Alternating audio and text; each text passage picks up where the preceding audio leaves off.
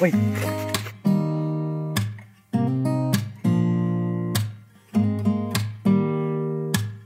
Don't need someone to save me. Nu va, popierius nešu į VGT universitetą.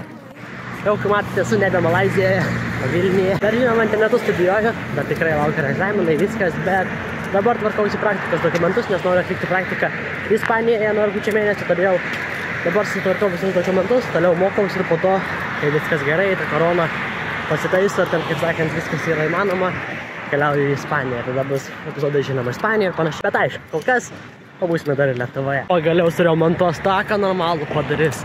Senai reikėjo, senai. Vienas popierius pasirašiau, susitvarkiau, viskas kaip ir gerai, sako, iš tikrųjų čia net nelabai ko reikia, tai labai sunku iš tikrųjų susigaudyti, ko reikia, ko nereikia iš dokumentų, o dabar einame gauti kitą dar parašą. Nu va, popieriai gauti. Kaip ir viskas. Ramu.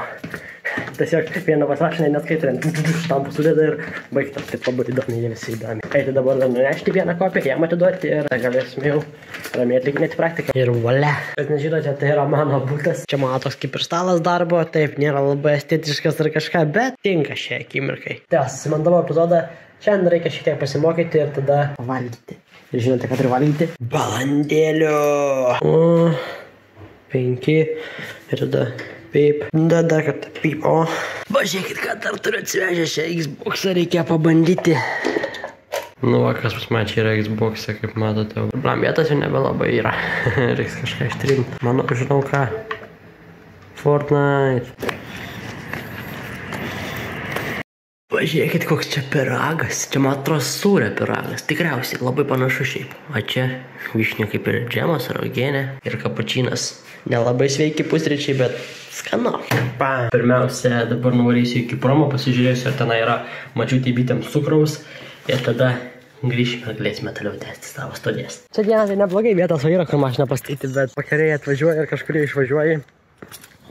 Bet jei, pavyzdžiui, vakare atvažiuoja ir kažkur tiesiog Kas yra? Ir pavyzdžiui, vakare išvažiuoji ir, pavyzdžiui, atvažiuoji, taip čia, tada vietos jau štai vietoj jau sunkiai rasti. Tada dažniausiai gali rasti tenai va prie darželio. Čia ant mašinų kiek daug Vilniui, neįmanoma. Tikrai neįmanoma. Pamiršau, kad čia ant joninės. Iš viduje reikia dabar susirasti, kur kas iš tikrųjų yra. Nu, va, kažką radau jau cukrų panašumą.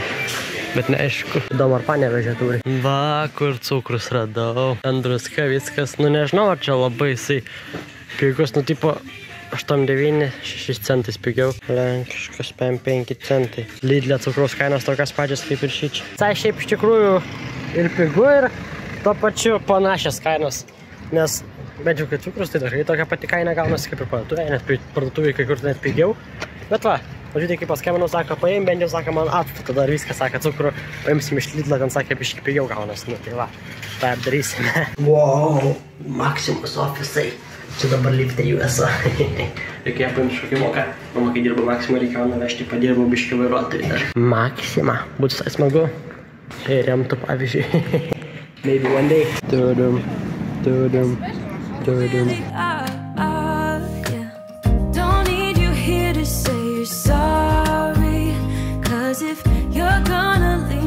Čia išlyginam viską, ten viškai dar nėra taip tobulai lygiai, bet ten reikės gal šiek tiek, šiek tiek dar pataisyti. Nu, bet čia aukštį maždaug visur pagavom. Dabar va čia va, vartus sudėsim. Ir tada žiūrėsim, čia burtelį dėsis, ir tada visi stulpai dar. Tai kas nors gero gal gausis. Atvažiuosim, išpilsi žvyrum. Nu, Čia va dar kitą supylėm, tai žiūrėsim, kada čia iššoks. Quicksetas vadinasi, tai pažiūrėsim, kaip čia jis veiks. Keliau anksti, tikrai daug padirbėjau ties namų darbais ir rytoj dar reikės padirbėti bišiuką, bet aš negaliu prisijungti prie e-learningo, bet kažkas mačiau parašė, kad jau dabar taip atsigavo, tai reikia pasižiūrėti, ar jau veiks ar ne. O, atsigavo pagaliau. Čia yra įkelta paskaita, kaip matote. Na, šiandien kokį didžiausią darbą pasidariau, tai va, parašiau visą šitą dokumentaciją čia, nu viską padariau, kas čia buvo per šiandien, čia 3000, tai viską angliškai reikėjo padaryti, užpildyti, taip, ojoj, buvo ką veikti, bet va, pasidariau vieną, yra ramu. Šiandien reikia nudaryti terasą, bet parodysiu jums ir dar turiu vieną tokį projektą, kaip ir sakiau, ten su batutu, kad įkasti ir kažką. Gal šiandien reikia pradėti, nors panašu, kad labai karšta diena. Impregnantas. Dabar grindų dar nedažysim, dabar tik tai šitas visas. Čia reikia su kerkeriu išplauti, o visus daiktus išnešėm čia. Oi, oi. Žiūrėk, man rankas, kokia čia. O. Mes dabar čia atvarėm, va, toliau tvoros daryti. Biškis kelių nepataikym, tai reikia dabar pergręžti viską vėl. Ir bandyti sustatyti, bet jau vartai va stovi puikiai. Lordas va vaikšta. Tai čia lordai. Čia mano va murzė. O ten ryžas katiniukas. Tai jisai ne mūsų. Tai žiūri, biški pyksta murziukas. Na, langas irgi murzias kojam nuėtas visas. Tai va, mokausi rašau dokumentaciją, nes čia man yra vienas iš projektų, kuris jau beveik pabaigtas, reikia čia pabaigti visą dokumentaciją irgi padaryti. Čia aišku su C++ darėm, kaip matėte, 600 eilučių. Aišku gerai viską atskirti skirtingus failus, bet dar tas nepadaryta, tai nežinau. Pabiškai, pabiškai dar kelias savaitės ir bus pabaigta viskas. Nu kiek kelias, dar trys. Dabar va, varduką pavadžiosiu biški, tada varysime namo, nudažyti, nes jau lovė ten grindis viską, tai šiandien turėtų būti žuvusios, reikės žinoma prasišluoti dar ir nudažyti. Dabar viskas yra nudažyta, o kaip kanda. Ir va čia visur kaip ir nudažyta, bet dabar reikia kažkaip tos plyšius dar paimti, tai paimu dabar va šitą va. Taip ant statau ir davai. Padeda biški, nusidaža. Tada su valiuku čia praeinu ir išlyginu visą kitą. Taip va. Reikia atsargiai, kad va čia nepaliesti. Neptaškyti sieną. Tai va čia terasa. Kaip ir raudona visą, kaip ir pliušiukai nebepilki, nebesimato, kaip ir gerai. Čia visur irgi viską normaliai. Ir atsidūriau kaime, pažiūrėkit, tik ateinu dėmesio duot ir net nežino, ką daryti, vienas kitą kapoja. Mopsas, baksiukas, jau koks senas, jau be dantų beveik. Kaip kapojas. O, prisimenat, koks vardas? Rašykite komentaruose, prisimenat. 3, 2, 1. Barkas. Barkiukai. Gerutis. Kaip gyveni? Nu, biškai kailis vėsokas, jau dabar gerai, ne, bet buvo dienas spėjau karštą. Valandarba kažko čia pėčia, čia spėjau žydadvilkės, ne. Aš niekada nepadarys natūralu, bet blem, dabar kaip daug čia aplinkiniai aplink liepta pėja. Kai krašte ten būna, tai nieko, bet dabar labai čia visur. Sakė, šitas balos labai garniais mėgsta žuvytės mūsų imti.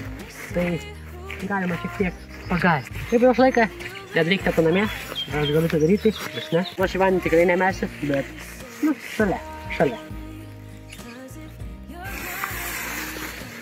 Oi,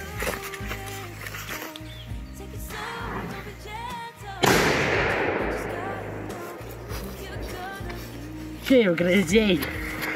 Ah, bet žiemą tai dar garsiau skamba, bet dabar gerai pagazdinti čia visus aplinkinius, galvo čia šaudo kažkas kažkas.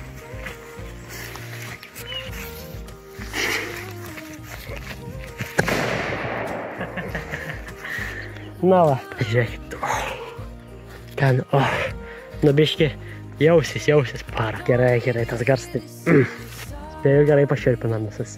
Niekas nesitikėjo. Dabar va prie klipšių mano ežeriuko pastatė va, kaip matau, va tenai padarė var pasisėdėti žmonėm viską. Bet tualeto vis dar nėra. Bent jau šiukšliadėžę pastatė, aišku, kažkas sulaužė ją kaip visą laiką. Nesistebi.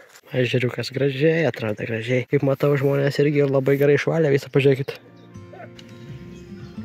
Aš ir vėl čia. Pamenu senus laikus, kai darydavau čia pasidavau kamerą ir bėgdavau, šaukdavau, darydavau visokius triukus. Rašykite komentaruose tie, kurie yra vadinami OG. Jūs tikriausiai dabar mat labai gerai jas mato, bet pirmiausia vaizdas gražus ir senai to nedarėm.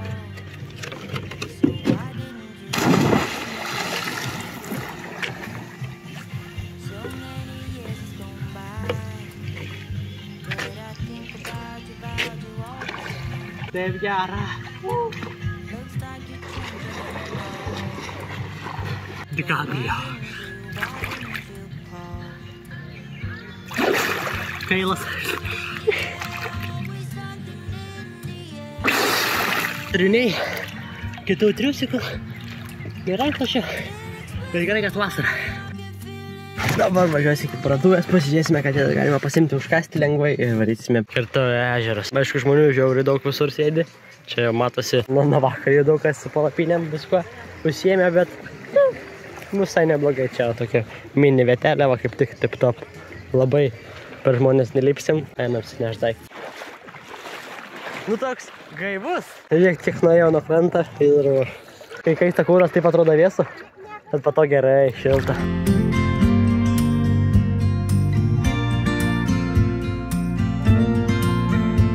Tiek visko daug, ten arbūzas užtenktas dabar visko čia ragaujam. Vamne, prie Lakalo ežero, tai pusė ten toks biški gyvesnis vanduo, čia taip biški šilčiau. Smagu, aš pažiūrėkite. Rūdas biški, ne, įdegiau. Gal gerai visai dar įdegiau rudai, o ne raudonai.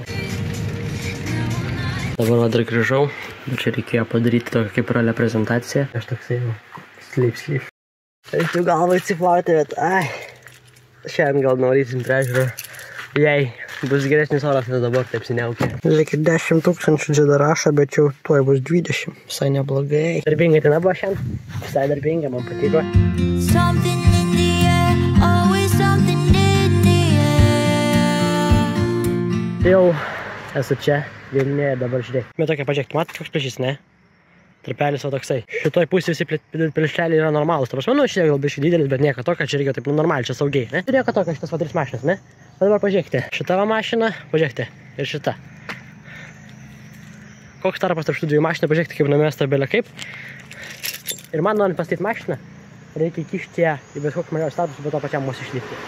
Aš nežinau, negi taip sunku tiesiog pastatyti 90 laipsnių kampu tiesiog biščiuką, o pirmin atgal ir tiesiog tiesiai būtų. Čia nesvarbu, bus didesnis plyšys, nu tiek to, bet bent jau kita mašina šalia galės pasistatyti normaliai. Taip nedarykite. Dar epizodą nepabaigiau, bet šiandien mes jį užbaigsime jau. Dabar pažiūrėkite, pasėmiau rėdį. Nevažinėjau visus metus. Sakau, reikia biškai pravažiuoti, važiuoju dabar iki Maksimos ir grįšiu. Tada reikia pasidaryti vieną dar darbą. Matė, jau nusiskutau, galvojau, kad kitame epizode darysime, bet padariau jau šiandien.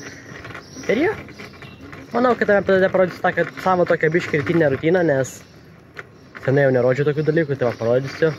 O dabar po biškį surėdžiu, bandome tą važiuoti iki Maksimos. Niau. Tam ten keliukas toks prastas, tai čiūjų taip sunku bus. Čia važiuokit dabar neužkilsiu netgi. O, užkilau. Pavojinga čia. Bet kaip nors, kaip nors. Na va ir Maksima kaip nors dabar reikia neišgriūti. O, pabiškai prisimėnsiu. O, įsikrovė.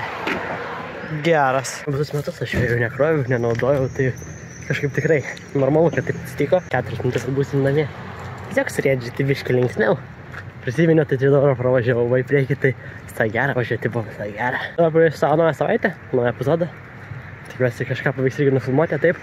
Ačiū Jums, kad žiūrėjote šį mano epizodą, kai aš va bandžiau surėdžiu važiuoti, kai aš kaime maudžius ir panašiai.